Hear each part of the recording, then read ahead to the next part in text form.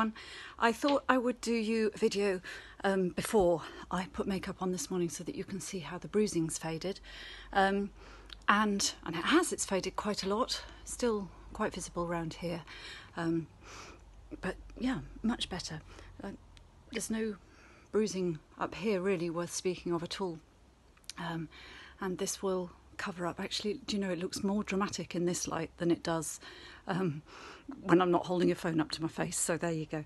Um, it's I can smile. It's much much better today. It's healing really very well indeed. Um, I can smile. It's a little bit tight just here when I smile, but it's not uncomfortable. Um, and the jawline is looking fantastic. I'm so pleased with this. If you look, you can see um, there's a bulge here which is swelling, and that is literally where the thread is. I can feel it, the RSJ. Um, and uh, uh, and what there used to be was great big pouches of fat hanging off there and into my neck, and the same on this side. Again, I think this bulge looks bigger because of the bruise, which makes it look like there's a sort of tuck in there, and that is actually very flat. There's no flap of skin there, that's just bruise. Um, and the RSJ is here, and no bulge of fat. Um, and I think that's getting better, better day by day. Um, but when I came home on Saturday, my daughter, who's um, she's 19, so um, not at an age where children are in the habit of complimenting their parents routinely. Uh, she was sitting on the sofa and, and I said hello as I walked through the door and she looked up and said, Oh, Mum, what have you done? You look a lot younger. Have you been to see Helen? What's happened?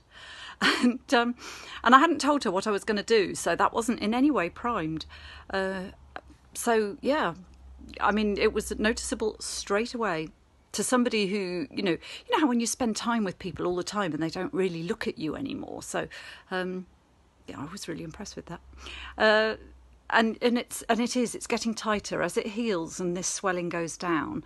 This this is getting tighter, and I really do. I joked during the live that this side was 20 and this side was 40 and on its way down. And that really actually is how I feel as it heals.